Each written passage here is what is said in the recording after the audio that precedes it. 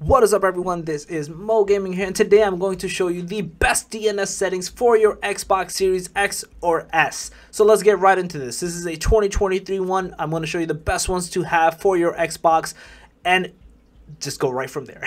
so what you want to do is you want to go over into settings and in here it's the first thing that says network settings, right? So once you are in here, you're going to go to where it says advanced settings. So in here, you're going to see a bunch of stuff. Uh, obviously I have it censored out, but you're going to see a bunch of stuff. But the one you want to care about is where it says DNS settings. So you want to change it from automatic to manual. So the one I have right now is 8.8.8.8 as you can see and the next one, which is the secondary, is 8.8.4.4. So this DNS settings that I have here available is Google's DNS settings. So there is another one that you can use, which is 1.1.1.1 and 1.0.0.1. That is Cloudflare's DNS settings. So this works very well in the North American region. I would highly recommend if you are in that region to try this out. But I will leave a link in the description below for you to test out because every region has a different one. Uh, again, I'm catering to most folks where they're watching from, but if you're from a different region like South Asia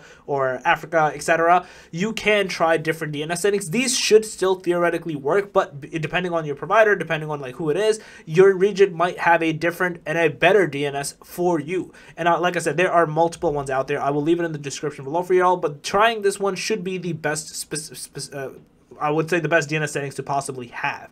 Um, so yeah, that's basically it. Trying this out, basically going next, the testing your internet connection, you should be able to get a better speed and all that other good stuff as well. So yeah, that's basically it.